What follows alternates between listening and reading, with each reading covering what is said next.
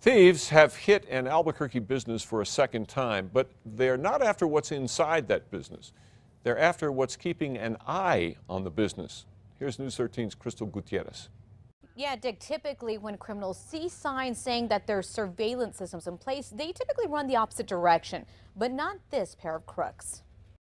Just before 3 Monday morning, security cameras at a self ice dispensing business in northeast Albuquerque start shaking violently.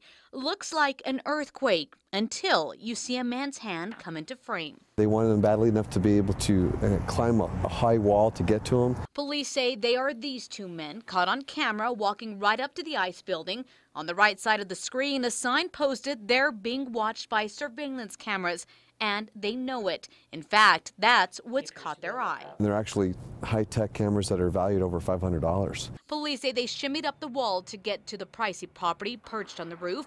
First, violently ripping one camera off the wall, then they spot a second one. That one comes down too. This is the first time I've actually heard of the cameras being stolen. They may think they're getting away with it, but the owners say taking the cameras does not mean the video of their faces is gone too. It's all backed up satellite away from the premises.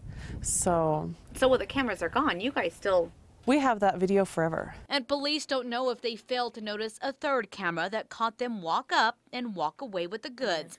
Believe it or not, it's not the first time camera thieves have hit this business. There were two taken in February. For now, police don't know if it's the same guys, but think there's a possibility. It seems like they have a particular interest in cameras, so that may not be the only place where they're doing it. And police say if the thieves are pawning the cameras, they probably didn't even get close to the amount that they cost. Back to you.